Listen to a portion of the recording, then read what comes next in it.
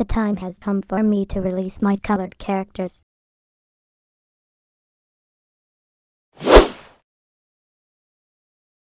Yes, I've released my colored characters. Oh no, it's my dad. Ruby.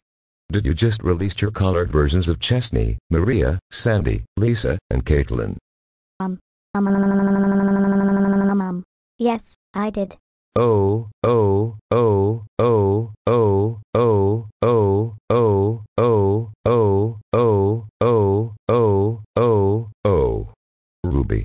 How dare you release your color characters?